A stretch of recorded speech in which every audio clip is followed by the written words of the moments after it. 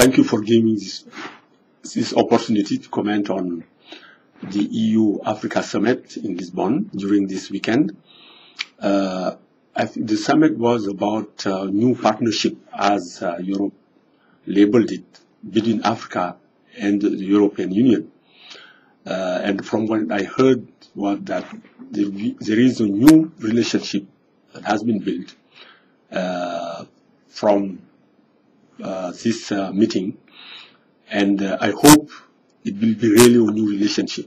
It will not be a relationship of domination and exploitation uh, like what has happened for the last 500 years.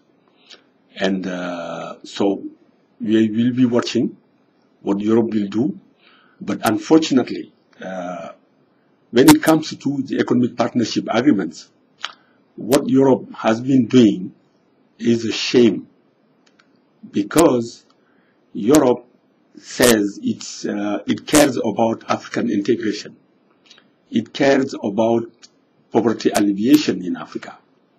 But when Europe goes after individual African countries, trying to get them to sign these economic partnership agreements against other African countries, I think it's not helpful in terms of African integration, in terms of poverty alleviation. On the contrary, Europe is splitting African countries between least developed and non-least developed countries. And by doing so, Europe is jeopardizing African integration. So I hope that Europe, since it wants to build a new relationship, new relationship with Africa, it will come to its senses and try to give Africa more time to renegotiate these partnership agreements so that it could they could be uh, agreements for development. They can promote African development, they can promote African integration, and they can contribute to poverty alleviation.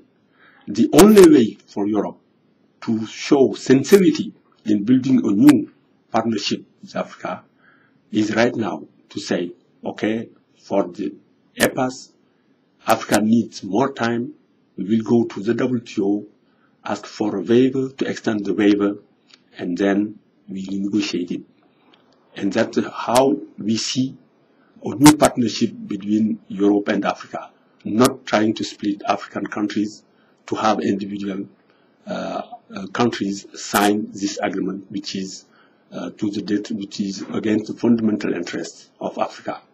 So uh, the African people will be watching what Europe will do in the next uh, few days regarding these partnership agreements.